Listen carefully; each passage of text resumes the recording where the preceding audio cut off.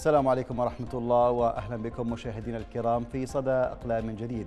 نرصد فيها أبرز ما كتبت الصحف المحلية والعربية والدولية ونبدأ بعد الفاصل.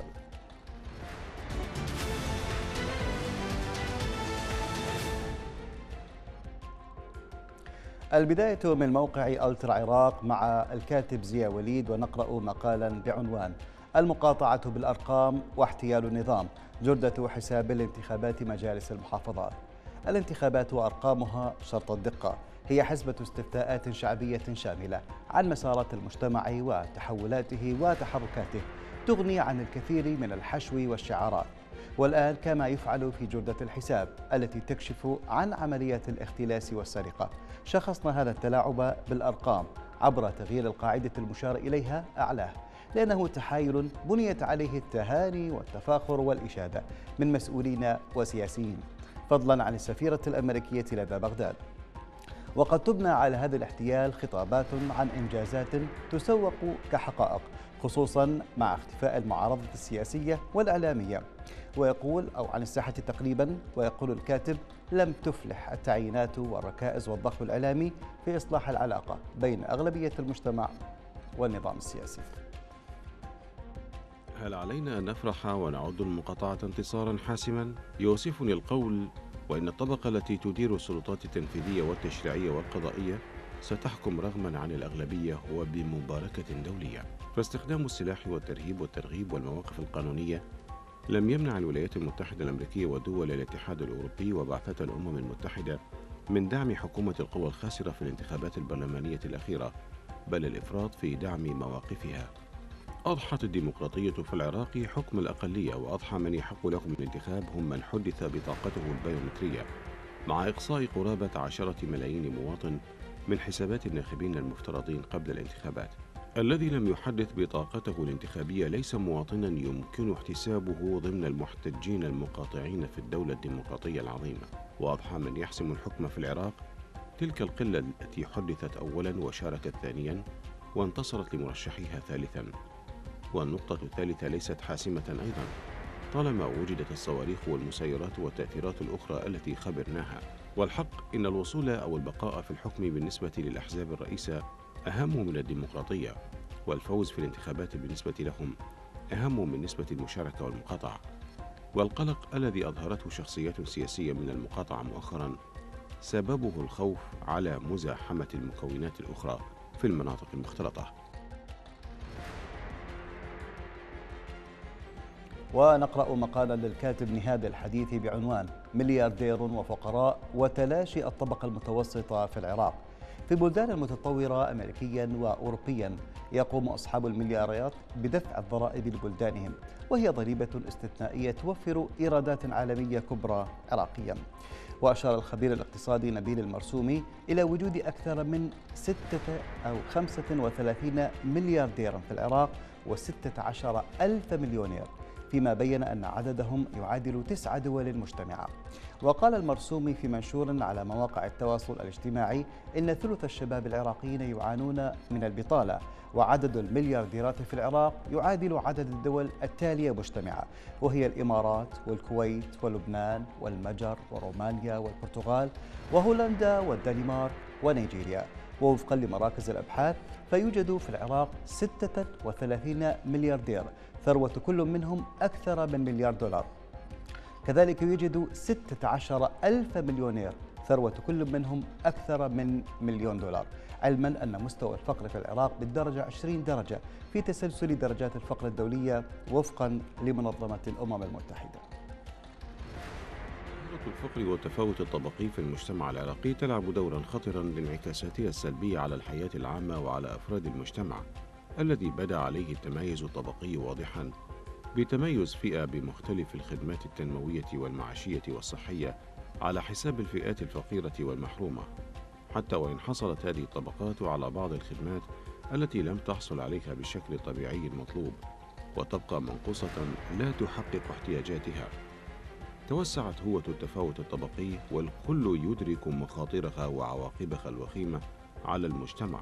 لأن الفقر والتفاوت الطبقي الأكثر خطورة من بين كل المخاطر التي تحيط بالمجتمع وما نواجهه في مجتمعنا من فقر وتفاوت طبقي جاء نتيجة حتمية لما نعيشه من فوضى سياسية وفساد إداري ومالي وتجاوزات على المال العام تمر بدون رادع حقيقي بعد أن زادت الفقراء فقرا وجعلت العراق يتصدر قوائم الفساد في العالم.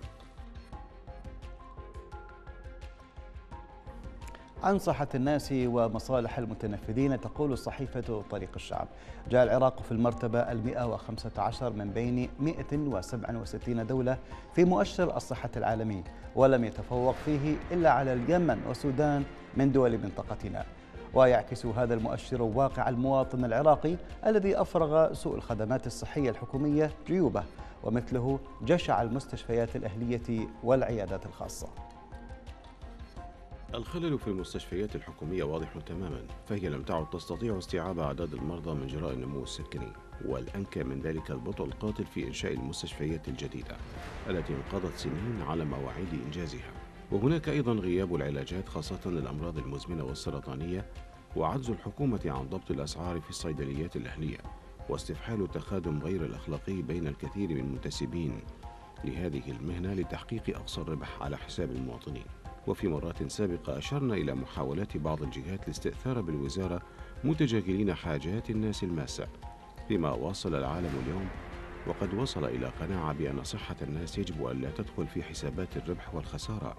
لكن المعايير عندنا مختلفة والمتنفذون معنيون بمصالحهم لا بصحة الناس وتبقى جوانب واقعنا الصحي غير صادمة لمن يعيش المعاناة اليومية. لكن هل تحفز على منح الأولوية لصحة المواطن وتخصيص المبالغ الكافية لها؟ وإلى صحيفة القدس العربي ونقرأ منها مقالا بعنوان فلسطين شعارات العرب وواقعية الغرب للكاتب حسين مجدوبي تكشف حرب الإبادة التي يشنها الكيان الشعب الفلسطيني خاصة في قطاع غزة تكشف عن واقع مر وصارخ في التناقض بين غرب رسمي وواقعي في مواقفه والسياسة التي يطبقها وعالم عربي رسمي غارق في غالبيته في النفاق وعند كل محطة تاريخية خاصة الحروب. يبرز التزام الغرب الرسمي بتعهداته تجاه إسرائيل وهو ما نعيشه في وقتنا الراهن بشكل جلي وبشع بعد طوفان الأقصى يوم السابع من تشرين الأول أكتوبر. إن التناقض الصارخ يتجلى في كيف يعمل الغرب من دون ضجيج الشعارات لا يتحدث عن تاريخ مشترك ولا عن لغة مشتركة ولا تقاليد عريقة بل اتخذ موقفا واضحا وهو دعم إسرائيل. بينما الأنظمة العربية أنتجت حول الوحدة العربية والمصير المشترك بلاغات قد تفيد في تشييد جسر بين الكرة الأرضية والقمر. لكن عند لحظة الشدة تتوارى غالبية هذه الأنظمة بل تصبح طابورا خامسا لصالح الكيان. في اللغة العربية الفرق بين الغرب والعرب نقطة واحدة لكن في الواقع السياسي يتحول الفرق إلى سنوات ضوئية بين التزام الدفاع عن المواقف في حالة تأييد الغرب لإسرائيل والتملق واسترضاء الغرب. بل حتى إسرائيل على حساب الفلسطينيين في حالة بعض الأنظمة العربية. لا ننسى هذه المعادلة. إسرائيل مشروع استعماري للغرب وهذا الأخير بدفاعه عن الكيان فهو يدافع عن الاستعمار مباشرة وعن حرب الإبادة وعن ضرب القانون الدولي بينما فلسطين قضية تحرير ومواجهة الاحتلال. لكن غالبية الأنظمة العربية والكثير منها كان حتى الأمس القريب تحت الاستعمار لا يستطيع الانتقال من ترديد شعارات الوحدة والتحرر إلى أرض الواقع. وإلى صحيفة الشرق الأوسط ونقرأ منها مقالا بعنوان كفى أمريكا كفى للكاتب بكر عبيضاء كما أن إسرائيل ذهبت أبعد بكثير مما تصور كثيرون في جنون الحرب التي تشنها على مدني شعب بقطاع غزة العزل من كل سلاح. فإن أمريكا الرئيس جو بايدن ذهبت بعيدا هي أيضا في غض النظر عن حماقات بنيامين نتنياهو وحكومة العدوان الظالم التي يرأسها ويجلس على كراسيها ساسة المتطرفون. أن يقف سيد البيت الأبيض جمهوريا كان أم ديمقراطيا. إلى جانب الحليف الإسرائيلي أمر ليس جديدا بل متوقع ويفترض أن لا يثير أي استغراب. سجلات ووقائع كل أزمات إقليم الشرق الأوسط الكبرى تثبت أن إسرائيل ليست مجرد حليف للولايات المتحدة قدر ما أنها تشكل قاعدتها الأساسية التي وحدها تحظى بثقة لا تخضع لشروط أو قيود ولن تمنحها أي إدارة أمريكية لأي من حلفائها بأي مكان في العالم. يستنتج مما سبق أن بوسع سيد البيت الأبيض عندما يريد ممارسة الضغط على حكام إسرائيل بغرض وضع حد لأي تماد في عناد يمس مصلحة الولايات المتحدة ويؤثر على صدقية علاقاتها مع باقي حلفائها في المنطقة. ومن دون أن يعني ذلك التخلي عن منهج الدعم الأمريكي الثابت لبقاء إسرائيل ترسانة السلاح الأقوى بين دول الإقليم ككل. إذا ما دام أن هذا هو الحال يجوز طرح السؤال التالي.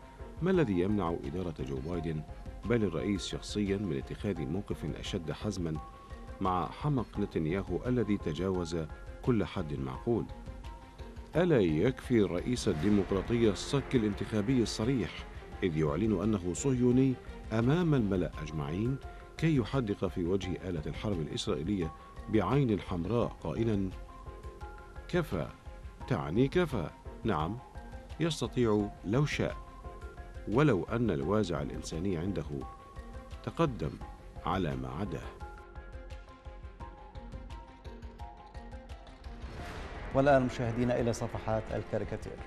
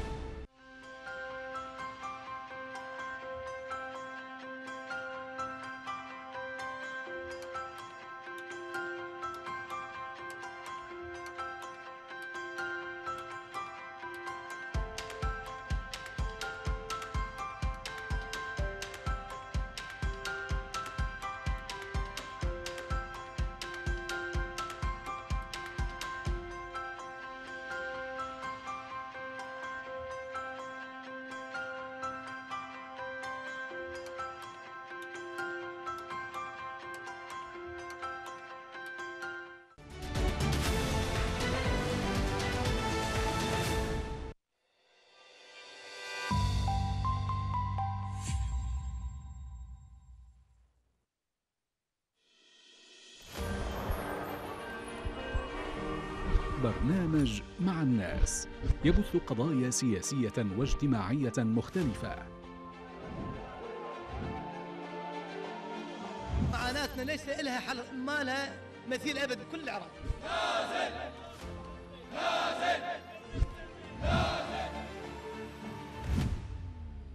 خرجنا مطالبين بإزالة هذه المنظومة السياسية من جذورها. من المدر... من المدرسة للشغل من الشغل للمدرسة. وما نقدر حالتنا تعبانة نعيش مع الناس لنكشف ما يواجههم من مشاكل يومية.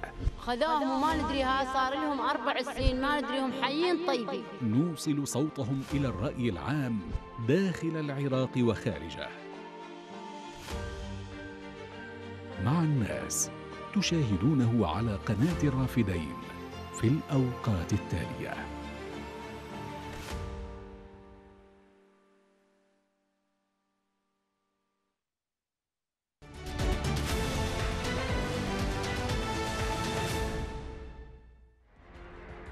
وجدت دراسة كندية أن جرثومة المعدة الشائعة والموجودة لدى ثلثي سكان العالم قد تكون مرتبطة بزيادة خطر الإصابة بمرض ألزهايمر وربطت الدراسة بين العدوى البكتيرية وزيادة خطر الإصابة بمرض ألزهايمر لدى كبار السن.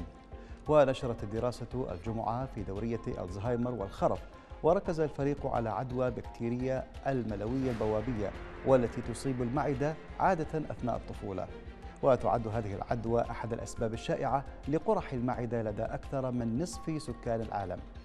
وفي حين أن سبب مرض الزهايمر متعدد الأوجه فإن النتائج تعتمد على مجموعة متزايدة من الأدلة حول الدور المحتمل للعدوى خصوصا بكتيريا الملوية البوابية في تطور مرض الزهايمر. وفق الفريق.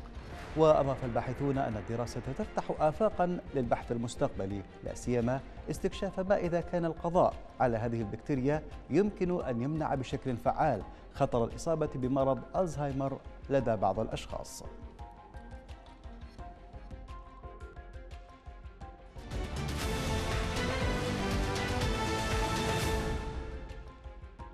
والآن نتابع فيديو اليوم الذي اخترناه لكم من مواقع الصحف. يعني عايشين أنا وياه يعني من القلة. ما عندي حدا يساعدني غير الله.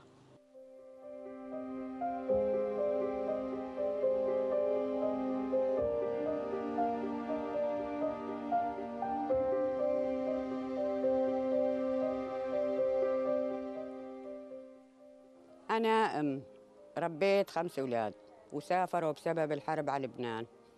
وصفيت أنا ورمضان عاجز معاق. وعايشين وأنا وياه والستر على الله.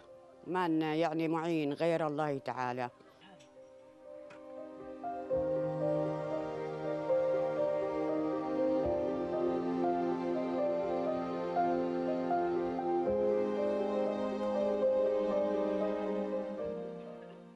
معينات ما عم تجينا.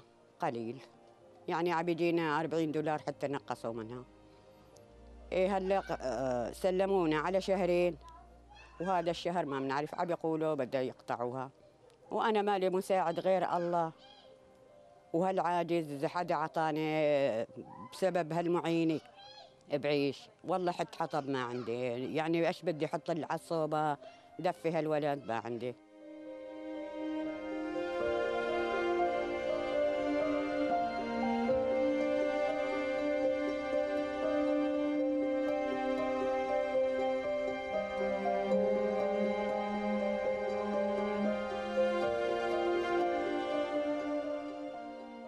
بس نتحرك غير على هالكرسي الك- العادي هذا بطلع فوت. وأمرار بالسله هون برا أمرار بطلع على الزيتون. يعني وما في فرص شغل إلي يعني بشتغل شيء يعني ما في فرص شغل إلي بحسن أشتغل لأن الماشيين ما عم يلاقوا شغل. شلون أنا؟ بارك. وكنا وكنا نسل يعني يقولوا على هالسلة. وهلأ كنا نعيش المعيش الله سبحانه وتعالى طبعا. بس إن يعني السلة بتعين شوي. هلا قالوا يقولوا بدها توقف وإن شاء الله نحن نعتمد إنه ما توقف. وبهذا تنتهي فقرات صدى الأقلام لهذا اليوم. نشكر لكم طيب المتابعة ونلقاكم على خير.